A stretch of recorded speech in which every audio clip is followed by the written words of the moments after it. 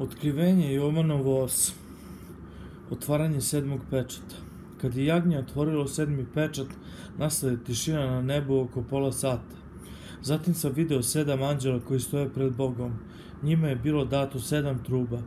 Došao je drugi anđeo sa zlatnim, zlatnom kadionicom i stao kod žrtvenika.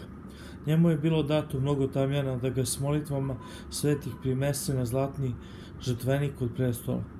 Dim od tamjana iz kadionice u anđelovoj ruci podiže se k Bogu, zajedno sa molitvama svetih. Onda je anđeo uzeo kadionicu, napunio je vatrom sa žrtvenika i izručio je na zemlju, nakon čega nastaše gromovi, grmljevina, munje i zemljotres. Odjekivanje sedam truba.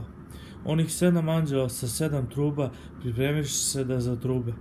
Kad je zatrubio prvi anđeo, grad i vatra pomešani s krvlju, behu bačeni na zemlju, pa trećina zemlje, trećina drveća i trećina trave izgoreše.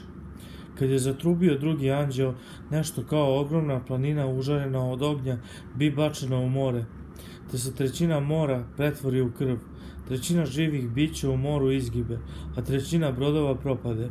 Kad je zatrubio treći anđeo, s neba pade velika zvezda, goreći kao buktinja. Zvezda je pala na trećinu reka i izvora.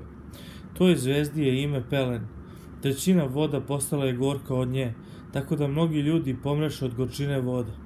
Kada je zatrubio četvrti anđeo, nešto udari trećinu sunca, trećinu meseca i trećinu zvezda, tako da su za trećinu potamljali.